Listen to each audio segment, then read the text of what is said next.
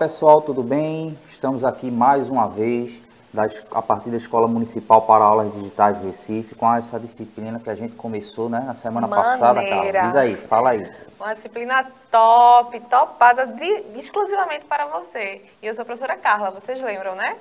E, né, Carla, a gente, hoje a gente vai dar continuidade, né, ou seja, tem um pouco a ver daquilo que a gente discutiu na aula anterior, né, apesar que na aula de abertura a gente falou de vários temas que a gente vai abordar em todas as nossas aulas. E vocês lembram da aula anterior que a gente falou de uma parte lá, né, de um pouco de ciência, um pouco de tecnologia, né? E hoje a gente vai meio que, vamos dizer assim, afunilar um pouco e falar exclusivamente. Vamos aprofundar, não é, Tiago? Esse conhecimento que é tão amplo. A gente vai trazer mais e mais informações para gente, a gente construir juntos esse conhecimento. E como eu te falei, a gente falou na aula anterior, o professor Carlos Pavão, lá do Espaço Ciência, vai participar novamente né, da nossa aula e hoje ele vai falar um pouco mais específico sobre tecnologia e ciência. Vamos, vamos lá olhar o que, é que o professor Pavão tem para nós? Vamos lá, vamos lá. Tecnologia envolve também alguma, algum conhecimento. Por isso que tecnologia não se dissocia de ciência, porque a partir do momento que você desenvolve uma tecnologia, você necessariamente tem que explicar, compreender melhor aquilo, aquilo ali, né? Então, aí que se dá a construção do conhecimento. E quando você analisa uma tecnologia, já surgem novos problemas e novas soluções.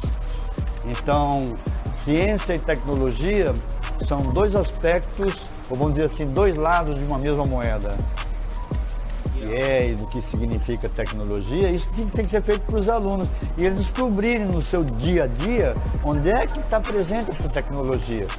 Vamos descobrir e vamos nos surpreender que está em todo canto, né? É porque é um reflexo do desenvolvimento da humanidade. É, e o, ela está presente a todo instante. É claro que a tecnologia ela vem se desenvolvendo muito mais, é, porque quando você tem uma tecnologia, como eu disse, isso abre novos horizontes, né? Então, o desenvolvimento da ciência e da tecnologia, ela se deu da mesma forma que houve o desenvolvimento do, do, do conhecimento é, ao longo da, da história da, da humanidade. Ah, que, que ela está presente em todo, todo Ninguém vive sem tecnologia, né? E sem conhecimento, sem ciência, né? Muito, muitas vezes a gente nem percebe isso. Por isso que eu acho que um exercício interessante seria perguntar para cada um dos nossos estudantes, das nossas estudantes, é, onde é que você está vendo tecnologia aqui? Quando a gente perguntar aqui, vamos perguntar aqui agora, e você, onde é que você está vendo tecnologia? Você está aí com o seu óculos aí, com o seu relógio, com a gravação aqui, com o celular. É, hoje já está mais fácil, porque a tecnologia está muito presente mesmo nas nossas vidas, né? E isso foi sendo incorporado ao longo do desenvolvimento humano, né? Tiago, me lembrou a aula passada que na aula passada a gente perguntou a você, onde é que você está vendo tecnologia? E a gente viu que no óculos, numa, na televisão, no livro, na caneta, tudo é tecnologia. E aí o professor, Carlos Pavão, ele mostra também que ciência, tecnologia, pensamento, problema, tudo está conectado. E nesta aula, a gente, além de refletir mais sobre o que é a tecnologia, a gente vai trazer essas palavras e refletir o que é um pensamento científico, né, Tiago? Exatamente, né? Porque quando a gente fala de tecnologia, né, como a gente abordou um pouco na aula anterior, é, acaba a gente tendo uma facilidade, vamos dizer assim, de citar tecnologias que estão ao nosso redor. Só que hoje a gente vai pegar o gancho aí, né, esse gancho que o professor Pavão fez com relação à tecnologia, mas ele disse lá no vídeo, né? Ou seja, está atrelado a um conhecimento, né? E esse conhecimento é a ciência, né? E a ciência tem que o que a gente vai chamar na aula de hoje do, do pensamento científico, né? Como é pensar cientificamente Isso. sobre um determinado problema. Porque ciência é sistematizar esse conhecimento, é seguir algumas etapas. O conhecimento ele vai seguindo as etapas. E por isso a gente vai ver o que é pensamento científico. Vamos lá, Tiago. Vamos lá, professor Carlos Pavão, novamente participando da nossa aula. Vai lá, professor. é, as crianças é, são as que mais perguntam, né? E, e tem respostas também para tudo. Ora, o que faz um cientista? O cientista tem um problema, tem uma questão, né? tem uma pergunta e ele vai atrás de resposta. Ora, as crianças estão fazendo isso o tempo todo. E eu digo mais, quando as pessoas vão ficando mais velhas, menos eu, vão deixando de ser cientista, porque a gente já não pergunta tanto, já tem preconceitos na cabeça, já é difícil de mudar de opinião, né? Então, o novo, o cientista, está na escola. E aí, o que, que eu acho também? A gente tem que acabar também com essa história de ficar só ensinando, ensinando, ensinando. Não, tem que, já que eles são cientistas, vamos colocar problemas verdadeiros para que eles busquem soluções para isso. Isso que é, vamos dizer, a tendência hoje mais atual do ensino de ciências. Viram que realmente esse pensamento ele tem que estar presente, está presente desde o início, desde criança, quando você começa a se perguntar por que a planta é verde, por que eu existo, por que as coisas são assim. Essa pergunta vai gerar esse pensamento científico, não é, Tiago? Exatamente. E esse pensamento científico, né, por mais que muitas vezes, né, quando eu e a professora Carla estávamos elaborando a aula, pensando na aula, é muito comum, não é, você encontrar falando que o pensamento científico ele segue um passo a passo, né? E a gente viu o professor Carlos Pavão falando justamente isso, né? Que depende muito das circunstâncias, né? Existem situações onde você vai fazer uma determinada etapa que uma ciência, uma pesquisa anterior começou por outra, ou seja, não existe uma ordem específica, né? E a gente pegou um exemplo, não foi, professora Carla? A gente trouxe um exemplo de um problema que pode acontecer com todos nós E eu aqui, tenho né? certeza que aconteceu com você já. Eu tenho certeza disso, Tiago que não é possível que esse problema não tenha acontecido com você, porque é muito comum. E aí a gente vai perceber que, será que na sua casa, será que no seu cotidiano, no seu contexto, tem algum problema, alguma pergunta que a gente precisa observar a partir do pensamento científico para a gente chegar a uma solução? Será? E a gente vai ver nesse vídeo aí, dá uma olhadinha no vídeo, é uma coisa bem comum de acontecer nas nossas casas, e depois ele vai voltar de novo, só que com um outro olhar, não é, Carla? Isso, exatamente. E você vai se reconhecer no vídeo, vê? Vamos analisar a seguinte situação. A professora Carla deixou seu celular carregando e já faz bastante tempo, só que ela observa que o seu celular não carregou. Então, ela começa a analisar o que pode ter acontecido. Será que foi o carregador que não estava conectado corretamente nas duas partes? Ou será que era um problema com a tomada. Ela também passa a analisar outras possibilidades, como por exemplo a falta de energia elétrica. Só que ela observa que existem pontos na casa que estão com energia funcionando normalmente, como a gente pode ver na cozinha. Ela começa a analisar agora uma outra possibilidade, que é testar um outro carregador para ver se o celular volta a carregar normalmente. E ela percebe que esse era o problema ou seja, com esse novo carregador, ela percebeu que o seu celular voltou a funcionar normalmente.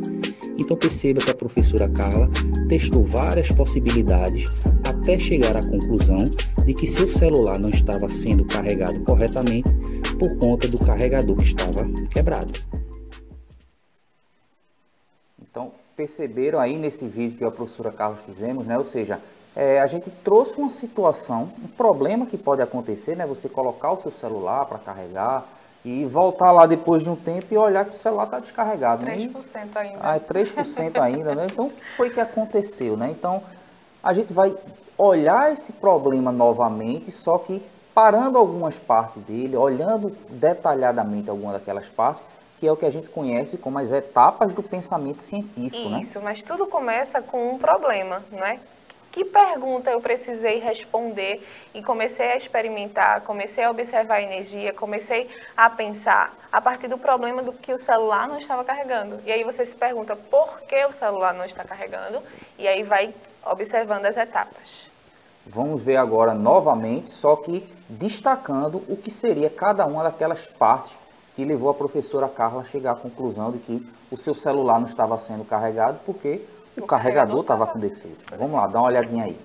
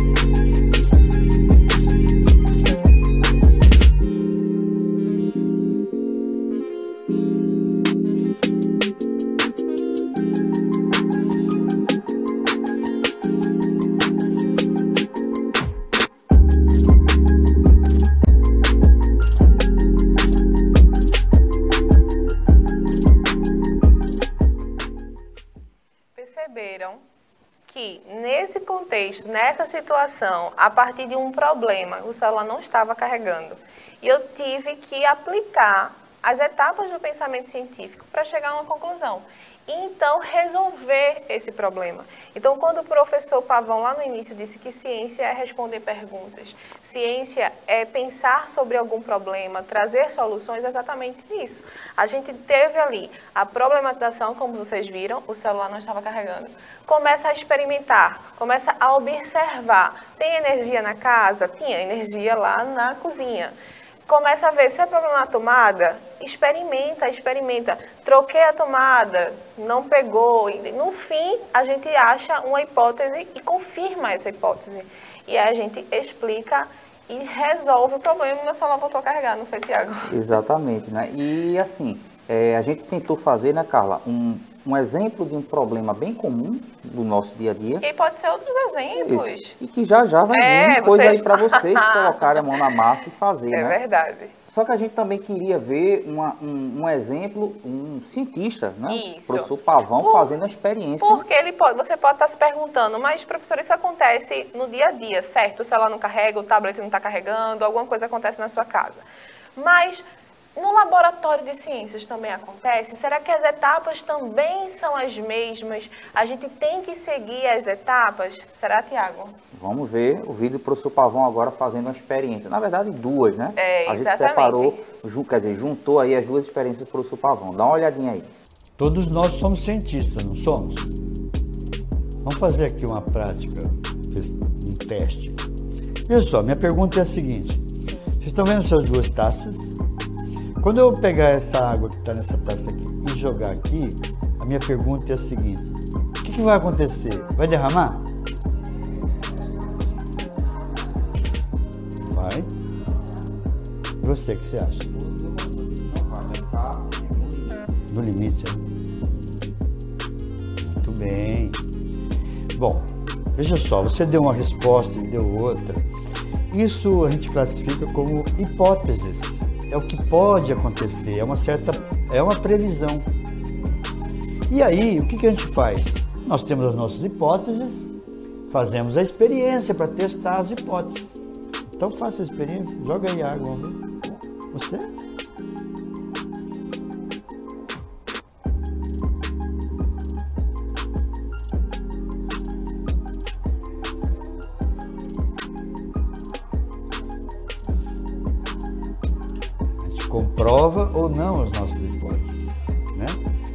Nós temos um exemplo muito é, simples, mas claro do, do que, que é, vamos dizer assim, se imaginar uma hipótese, né? fazer um experimento. E depois, a gente tem que explicar o que aconteceu. Aí você que é um matemático, explique, você está vendo aí.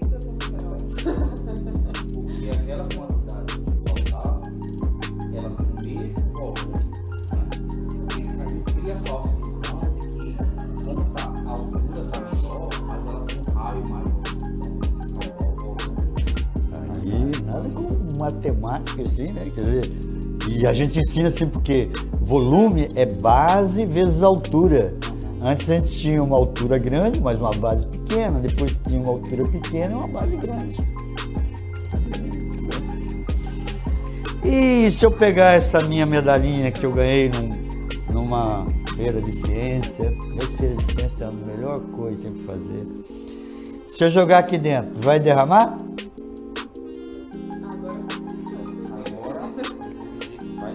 Vai derramar. Você? Aí temos dois, pode derramar, pode não derramar. Fazemos a experiência.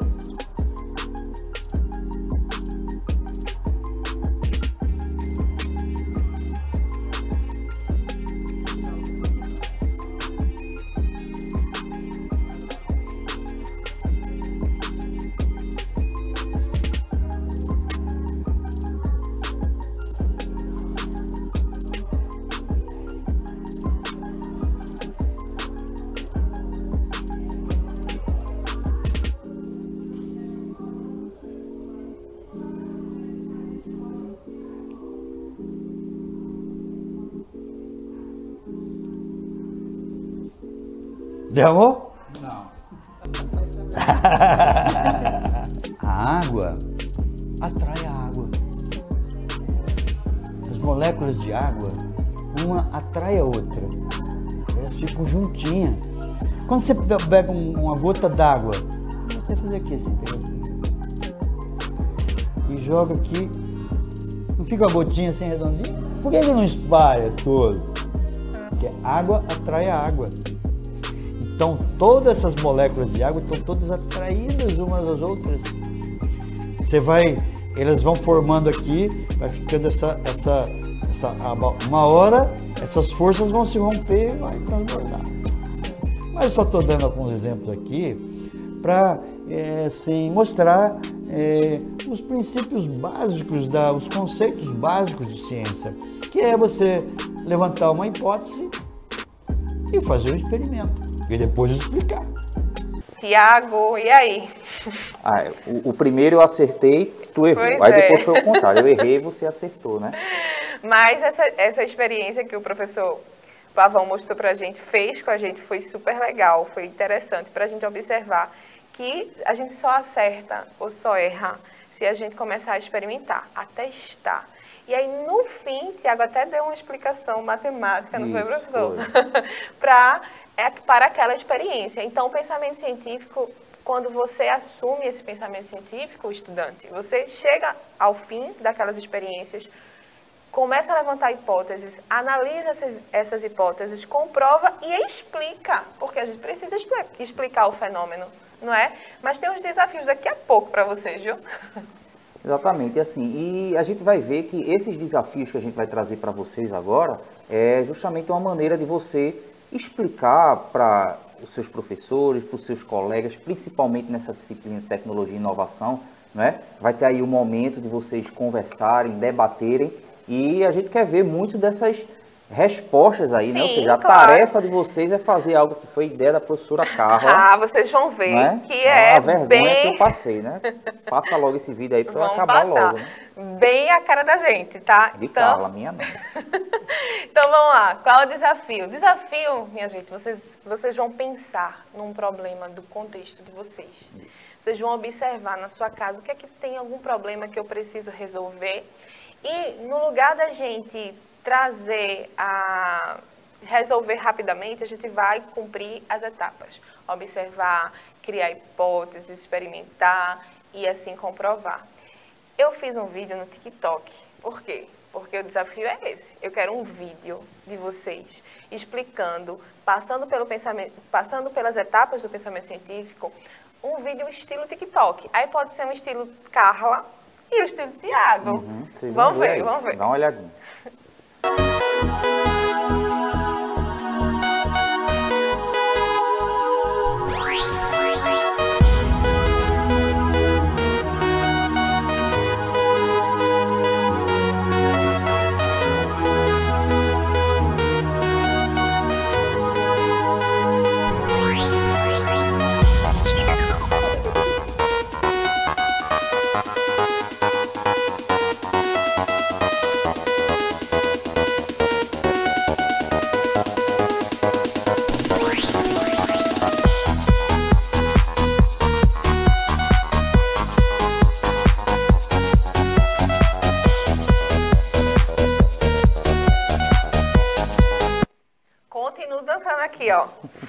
TikTok, é isso mesmo.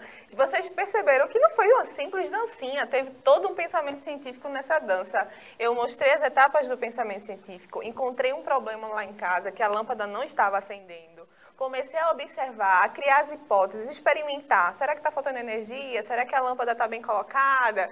E aí, Tiago, teve uma explicação, né? Que a lâmpada, quando está queimada, né, tem um rompimento. Isso, exatamente. E aí não permite passar a corrente, né? Exatamente.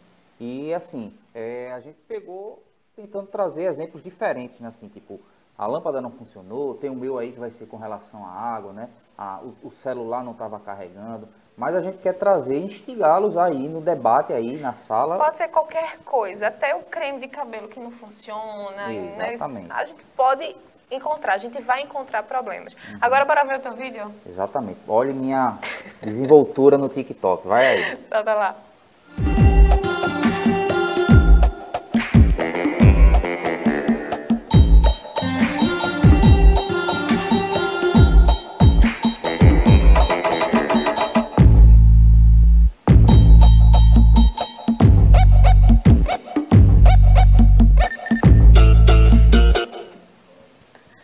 Só no passinho, hein, Tiago? Exatamente, tá vendo bem minha cara, né?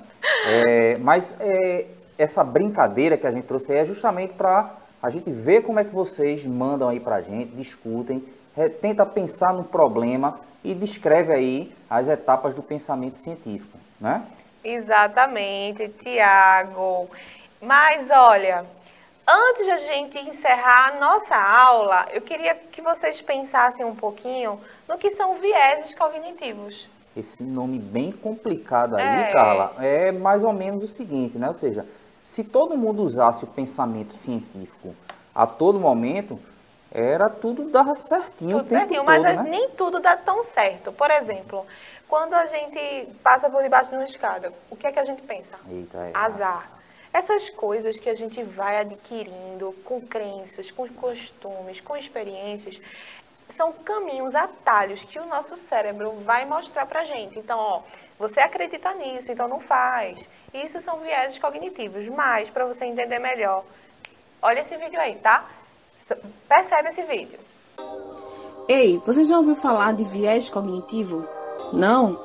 Então deixa eu te explicar. Viés quer dizer trajetória ou direção, e cognitivo é relativo ao processo mental. Então, o viés cognitivo é uma expressão que diz respeito a um atalho ou um caminho mental que afeta suas decisões ou julgamentos. Como assim, professora? Você deve ter dito.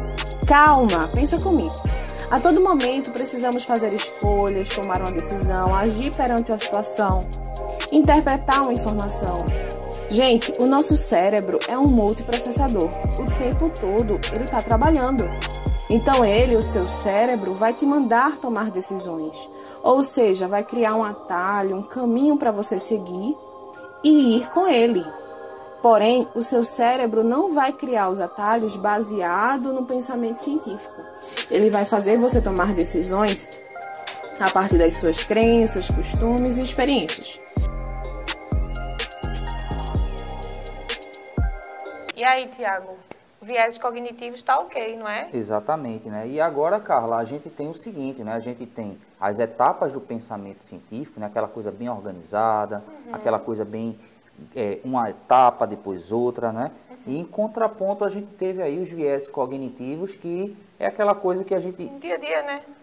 joga o, as etapas do pensamento científico lá para baixo e age sobre algo, pensa sobre algo, acredita ou faz alguma coisa, né? Eu trouxe até exemplos, a gente trouxe até exemplos bem reais para vocês, não é aquele, aquele do bar de boa viagem. Viés cognitivo topado, uhum. né? Seguir o que os outros estão fazendo sem nem pensar. Se o pensamento científico estivesse agindo naquele momento, com certeza esse essa pegadinha não iria acontecer. Exatamente. Aí fica um pouco aquela dúvida, né? Eita, Carla e Tiago falaram pensamento científico, aquela coisa bem regrada, bem passo a passo.